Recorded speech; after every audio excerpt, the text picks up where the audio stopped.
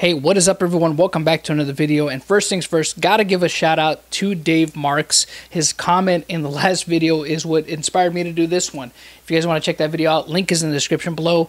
It's the one where I talk about Anime Log and their YouTube channel. Basically, them teaming up with Japanese companies to bring anime in a free format here onto YouTube. But uh, if you want to know more about that, check that video out. But I had mentioned bootleg VHS in either that video or the one before that where we talked about Kiss Anime and I just wanted to show you guys what I have left here. This is uh, all I have left of my bootleg anime VHS from back in the day. And as I had previously mentioned in the video beforehand, and one of one of those videos beforehand, this is how we had to kind of um, get our anime prior to the internet. We had to find fan subs. A lot of times they were uh, subbed from either Laserdisc that were released or you know people that actually you know got a hold of the stuff in Japan, recorded it onto video, and then they would do fan subs of it.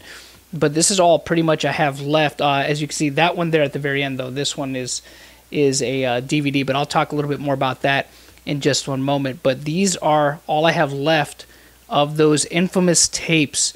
And like I said, once we would get a hold of these as anime fans, a lot of tape trading went on.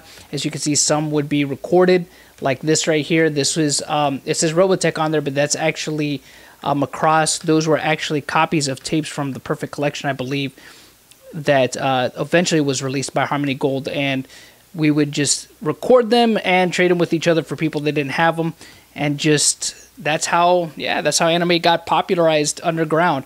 Uh, we'll go ahead and take a closer look at these though. Okay, so now we get a bit of a closer look here. For those of you wondering about the clamshell cases, uh, these were some of these tapes were actually ones that I bought from a place here called Florida Oriental Trading, which unfortunately no longer exists. I think they closed down about maybe 10 years ago at this point. Could be wrong about that. Math could be off there. Uh, but I believe about 10 years, they might have closed down maybe 10, 9 or 10 years ago, if I'm not mistaken. But anybody who is a part of the Florida scene here, or Orlando specifically, you probably remember that place if you were an anime fan because it was an import shop, basically. They had a lot of stuff from Japan there, a lot of stuff imported. They had some bootleg stuff. Uh, more specifically, more specifically, it was probably VHS, uh, anime VHS of stuff that had not been released or licensed here at that point. Maybe sometimes it was stuff that had already been licensed, but maybe wasn't that far along just yet. And I'll explain that in just a moment. But you can see this was Saint Seiya, the movies one and two. A lot of these videos that I have here are ones that I got throughout the 90s, from early to late 90s. But uh, this one, I can't remember specifically when I got it, but I know I got it from there. I know I got it from Florida Oriental Trading. And uh, I had seen Saint Seiya prior to purchasing this particular tape.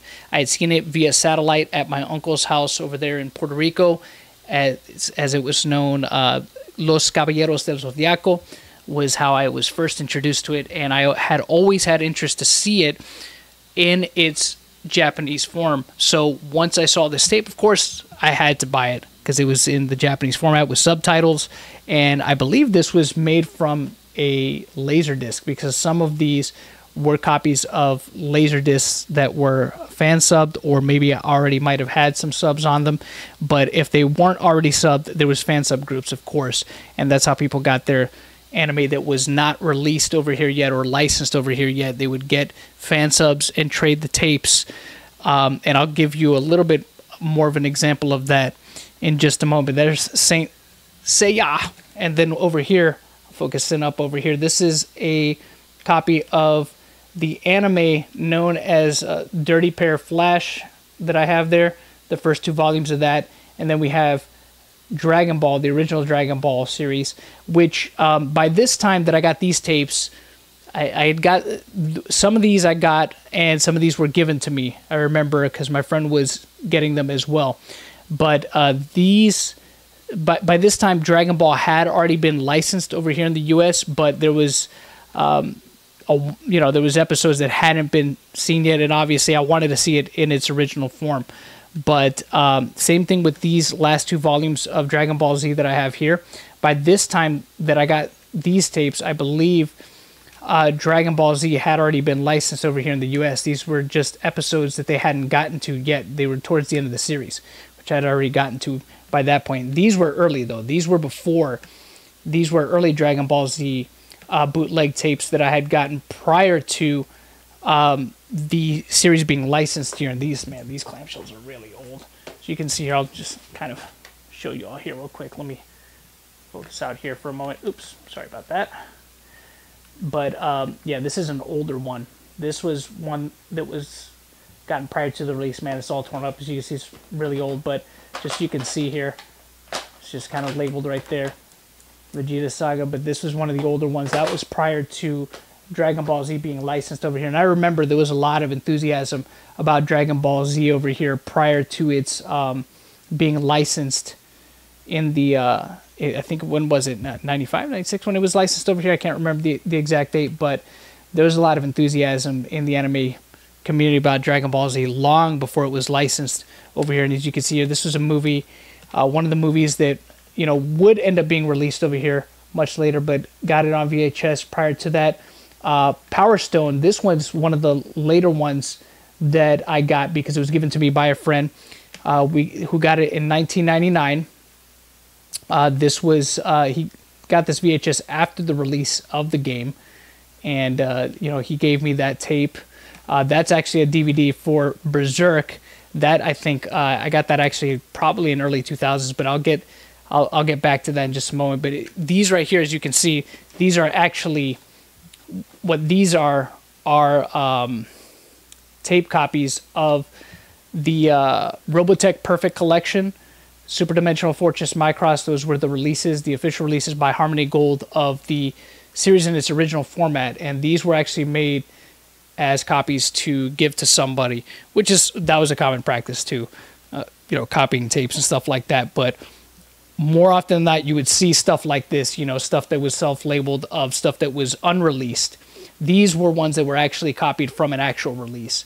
And they were, uh, I, I, believe I copied these with the intention to give them to somebody that had wanted to see them, but I think they, they ended up not wanting them after the fact. But, anyways, but this is how you would see tapes basically prior to broadband internet and things like that, and, and uh, video files being available online. This is how people would have to get unreleased anime uh, we'd have to get together, trade tapes of stuff that we didn't have. So some of these uh, were given to me after I had traded for some of them, and others were just given to me because people had already seen them. So because that's that's kind of how it was. Once you were done watching something, um, you would trade with somebody else for what they had. And a lot of times people would just keep the tapes because once you had seen something, you just kind of moved on to the next thing, unless you really, really wanted to keep it then you would ask for it back. But a lot of times I remember there was tapes that I gave to people. There was uh, tapes that were given to me because they had already seen it. So there was no need for them to check it out. And then eventually with with a lot of the stuff like with Dragon Ball Z and, and uh, Saint Seiya or Saint Seiya, I'm sorry, um, it was eventually uh, licensed. So there was no need to really have this this stuff anymore. And especially once broadband hit, um, nobody cared about VHS much anymore because then you could just, you know, get all the stuff online. But this is one of the last ones uh, that me and my brother got. This I think we got this in the early uh, 2000s, maybe 2001, 2002. This bootleg of uh, Berserk before it was licensed over here. So I mean, it's it's a practice that obviously continued uh, well into the early 2000s. But uh, I just want to show you guys the tapes here, just show you a little bit of history. This is all I have left. I used to have way more than this, but I don't want you guys to think that I just had pirated anime. I also did buy official released anime, officially licensed anime. And if you guys want to see uh, my video collection of that, or at least of what I have left of that, I can make a video about that. But just, you know, I just want to show you guys a little bit of history here, a little bit of uh, old school and, you know, the, the good old days, how, how things were prior to high speed internet and things being completely accessible online. This is how we had to do things back then. So uh, let me know what you guys think of this video uh, in the comment section below. Uh, let me know about your collections, uh, the stuff that you picked up on bootleg VHS, uh, you know, bootleg anime VHS, what, what they were and uh, how you, what, what your exposure was to it, what series you were able to discover because of things like this and tell me some of your experiences if you did this as well. So uh, until next time, y'all know how it goes. The hunt continues. If you like this video, please be sure to give it a like, share, and comment below.